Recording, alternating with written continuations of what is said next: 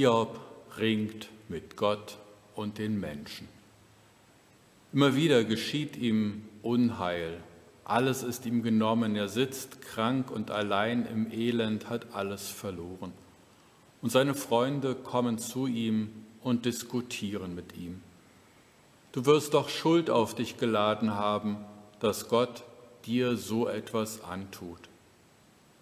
Und Hiob, im Grunde seines Herzens ist er sich gewiss, er ist fromm, er vertraut auf Gott, er hat sich nicht zu Schulden kommen lassen. Er ringt mit Gott und mit den Menschen. In seiner Rede preist er Gottes Größe und Güte. Gott ist so groß, der wird mich doch nicht im Stich lassen. Er sagt den Satz, der uns heute durch den Tag begleitet. Gott allein breitet den Himmel aus und geht auf den Wogen des Meeres. Er macht den Wagen am Himmel und den Orion und das Siebengestirn und die Sterne des Südens. Wie groß ist Gott, der Schöpfer dieser Welt. Was ist ihm nicht alles möglich?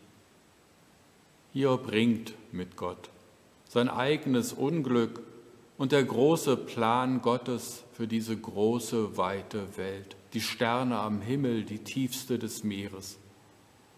Hier bringt mit Gott.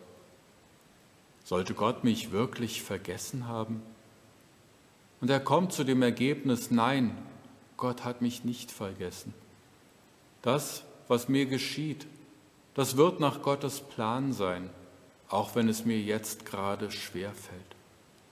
Und Hiob hält an Gott fest und ist für die Menschen in seiner Umgebung eine wichtige Anregung, ein wichtiger Glaubenszeuge.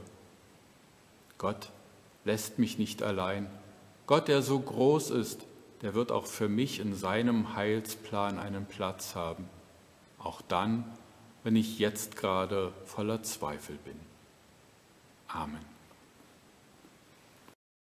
Fürchte dich nicht, gefangen in deiner Angst, mit der du lebst. Fürchte dich nicht, gefangen in deiner Angst, mit ihr lebst du. Fürchte dich nicht,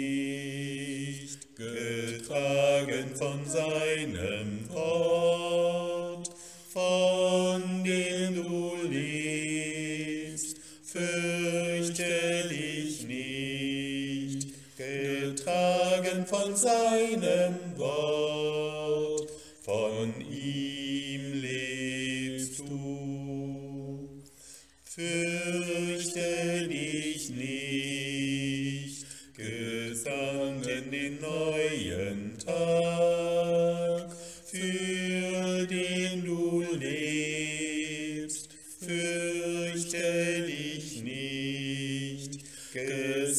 und in den neuen Tag für ihn